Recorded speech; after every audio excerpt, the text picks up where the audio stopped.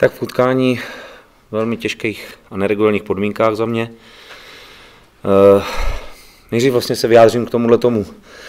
Já jakoby nerozumím tomu, co vlastně od toho fotbalu chceme. Uh, myslím si, že bylo úplně zbytečné to utkání hrát, že jsme ohrozili zdraví hráčů, zničili jsme hřiště a jakoby fotbal to stejně nebyl takový, jako jsme si asi všichni přáli. A ani se vlastně na tom terénu hrát takový fotbal nedal, protože jestliže vlastně člověk, který trošku se v tom fotbale pohybuje, tak ví, že na tom prostě fotbal hrát nejde. Nejde se na tom dobře pohybovat a nejde vlastně kombinovat, nejde nic. A e, zaráží mě, že vlastně všechny zápasy jsou odložený. Dokonce je zítřejší zápas, se ví, že se nebude hrát v Ostravě, a tady se prostě ten zápas hraje. Proč? Jakoby? Proč? Co vlastně od toho fotbalu teda chceme potom? Takže ty lidi vlastně, co tohle to rozhodují, jestli to byl pan delegát nebo já nevím kdo, tak by se měli zamyslet, co vlastně jakoby od toho chceme, od toho fotbalu. Jo, protože to je velice smutný vlastně, že eh, Honza navrátil vlastně ze Signy se zraní vlastně při, při rozcvičení. Na tomhle terénu, tak se zraní při rozcvičení. Jo. Mrzí mě to vlastně, že to, tohle to vůbec někdo dopustí, aby, aby to takhle bylo. Nicméně, eh, jak jsem říkal, v těch podmínkách se asi obě mužstva snažili hrát maximum. Já myslím, že eh, my jsme třeba byli víc na balonu, ať už to bylo první nebo druhý poločas, ale k tomu druhému se vrátím. Já si myslím, že v tom prvním jsme sice byli na balonu, ale neměli jsme jakoby tu dobrou tu efektivitu, hlavně v tom, že jsme se dostávali dobře do křídelních prostorů, ale nedokázali jsme vlastně z těch křídelních prostorů dobře ocentrovat, dobře najít vlastně někoho před brankou a možná to řešit někdy jednodušejc, než vlastně, já nevím, třema, pěti přihrávkama v tom křídle, kde jsme to buď ztráceli, nebo jsme trefili prvního hráče. Eh, takže myslím si, že taková právě efektivita před tím pokutovým územím, že nám chyběla.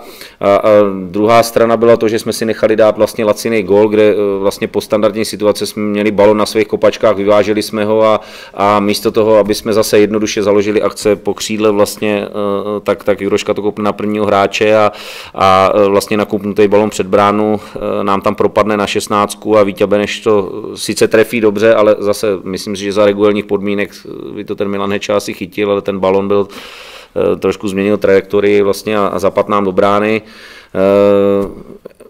Poločase jsme si řekli, že určitě uděláme všechno pro to, řekli jsme si nějaké věci, co bychom tam chtěli změnit, eh, jmenovitě vlastně opravdu třeba eh, jednoduchá, jednodušší hra z těch křídelních prostorů, ještě větší nátlakovost na toho soupeře, což si myslím, že se nám od začátku vlastně toho poločasu dařilo.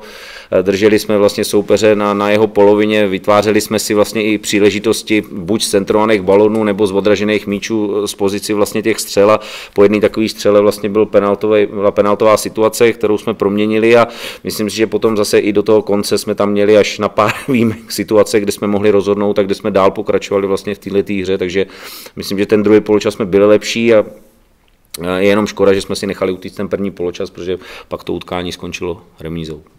S ohledem na ten eh, druhý poločas eh, je ta remíza pro vás zisk nebo ztráta?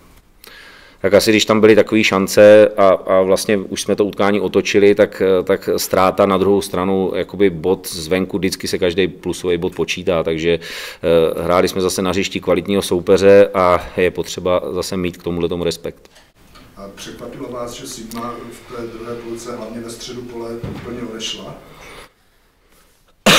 tak já jsem se spíš díval na moje mužstvo a uh, tam jsme si právě řekli, že v tom středu musíme víc královat, že musíme víc sbírat ty odražené balony a, a, že z toho středu vlastně, když je takhle těžký terén, že se to všechno odvíjí, takže spíš jsem apeloval na naše hráče, aby tam jsme vlastně královali, aby tam jsme vlastně získávali ty balony a, a rychle jsme třeba přetáčeli těžiště hry právě do té druhé strany a, a tlačili se vlastně z druhé strany před bránu, takže to byl cíl a, a to, to, to, to mužstvo naše určitě jako se v tomhle zlepšilo proti prvnímu poločasu. Způsobil jste tomu se tomu terénu, nebo vůbec to nehrálo roli?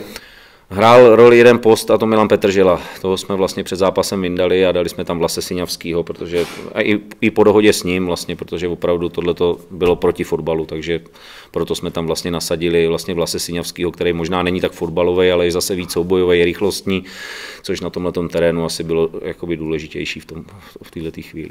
Co říkal Milan teda na, na, na, na terénu? Ani se neptejte to není publikovatelné. Cecilia, jak se pohyboval na, na tomhle těžkém terénu, jak se vám to? Tak konečně si vzal kolíky hlavně na, na to, že on hraje vždycky v lisovkách, ale včera jsem ho přesvědčil, že vlastně uh, ať už je to stabilita vlastně, nebo zranění a takovéhle věci, takže dneska si vzal a myslím si, že na to, že má dva metry, tak se na tom sněhu eh, pohyboval velice dobře, takže uh, myslím, že i z jeho, z jeho vlastně eh, podržení těch balonů, z jeho prodloužených balonů, tak jsme hodně těžili vlastně v tom, v tom tlaku a, a v tom nátlaku na toho soupeře a, a v tom v té přechodové fázi, takže zase myslím si, že uh, určitě by mohl hrát ještě líp, ale v ten daný moment, v, ten daný, v těch daných podmínkách si myslím, že, že ještě podal velmi dobrý výkon.